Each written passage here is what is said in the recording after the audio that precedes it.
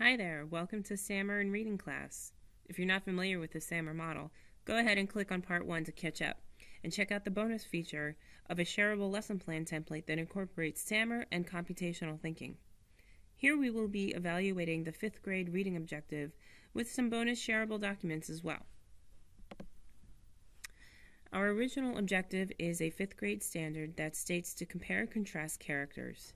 This can also slide its way into character traits. Tom and Huck are two characters with a lot of personality and a lot of motives that can be relatable to students. Let's see how technology tools help analyze the complexities of these characters. In the substitution level, we see a Venn diagram that can be easily drawn on paper, but the lesson replaces the paper with a Google Drawing app. A good start, but we can build on this.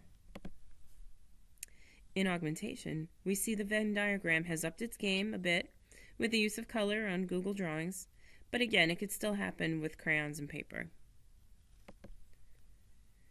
Here in modification, we see now the learners being guided through the analyzing process with tools and apps.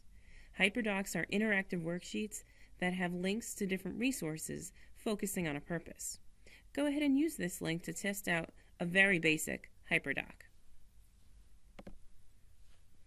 In redefinition, we take a virtual field trip to interview the people who know Tom and Huck best with Google Hangouts. Students must come up with questions using the book details and inferences in order to really understand who Tom and Huck are. This may take some planning, but being able to talk face to face with the experts in any field is definitely redefining the objective.